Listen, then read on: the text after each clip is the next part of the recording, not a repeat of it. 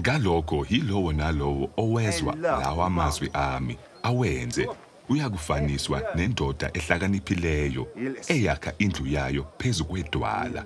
Layithela imvula kwafika izikhukhula kwavunguza imimoya yayishaya leyo ndlu. Kepha kayiwanga ngokuba yayisekelwe idwala. Kodwa yilowo owezwa lawa mazwi ami angawenzi.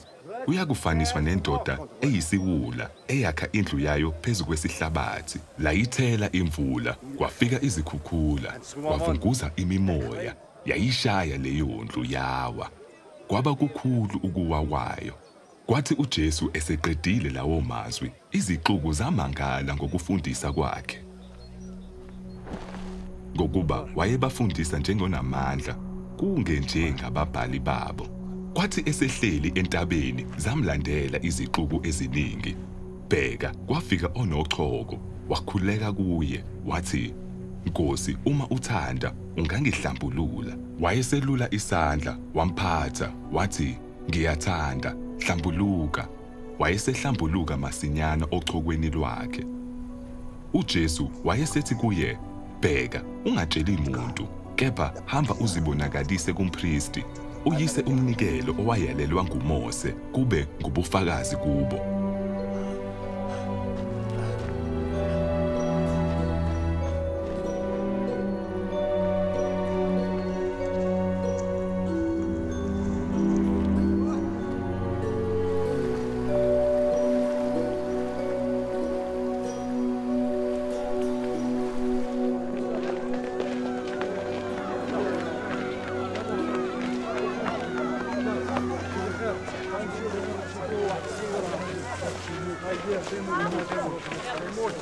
Kwathi esangena eKhaphenawume kweza kuye induna yekhulu yamncenga yathi Nkosi umfana wami ulele endlini ufe uhlangothi ukhwelwe kakhulu kubuhlungu wathi kuyo mina ngizakuza ngimphulukise. Induna yekhulu yaphendula yathi Nkosi angifanele ukuba ungene phansi kophahla lwami kepha yisho izwi nje. Khona umfana wami uyakusinda. Ngokuba nami ngingumuntu ophansi kwamakhosi nginamabutho phansi kwami. Ngithi kwelinye hamba lihambe. Ngithi kwelinye woza lize nasencekweni yami. Yenza lokhu ikwenze. uJesu ekuzwa lokho wamangala wathi kwabamlandelayo ngiqinisile ngithi kini angizange ngifumane kwa-Israyeli ukukholwa okungaka kumuntu.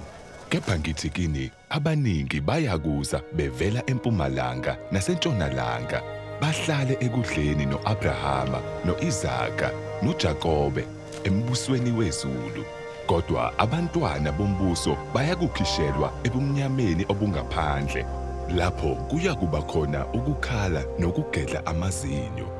uJesu wayesethi enduneni yekhulu hamba makube kuwe njengokukholwa kwakho. Umfana wasinda ngaso leso sikhathi.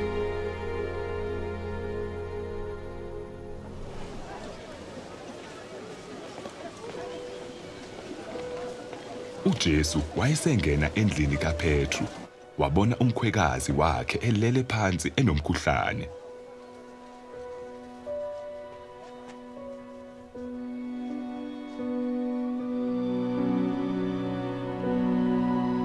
Waphatha isandla sakhe umkhuhlane wamyeka wavuka wamkhonza.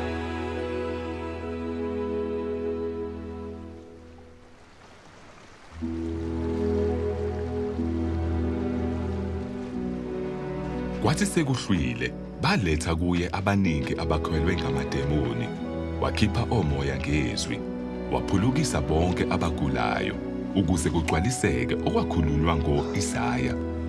Umprofethi ukuthi yena wabetshatha ubuthakathaka bethu wathwala izifo zethu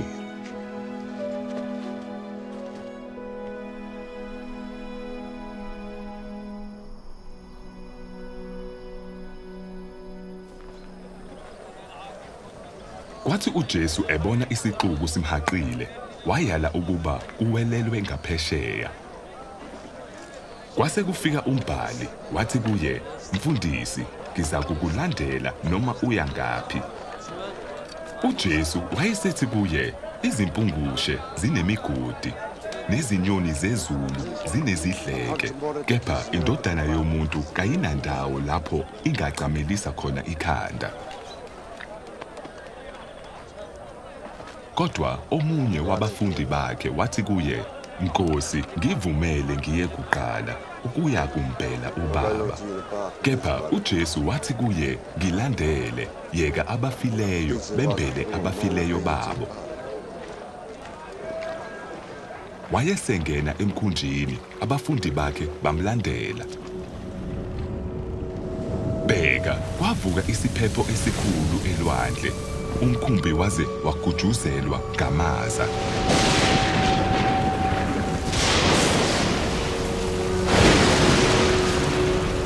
Kepha yena wayelele.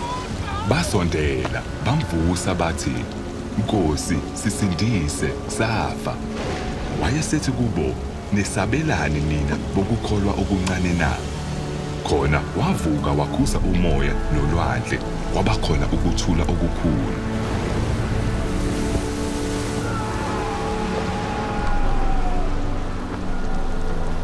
Kepha abantu bamangala bathi unjani lo ukuba nomoya nolwandle kumlalele na?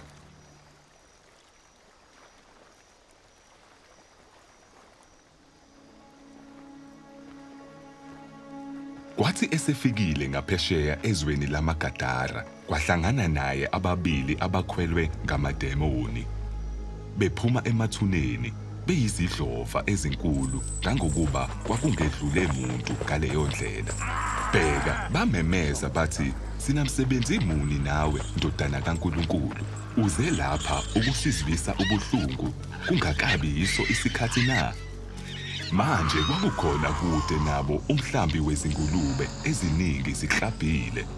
Amademoni amncenga athi uma usikhipha sithume ukuba singene emhlambini wezingulube. Wathi kuwo hambani bağırır gidecek.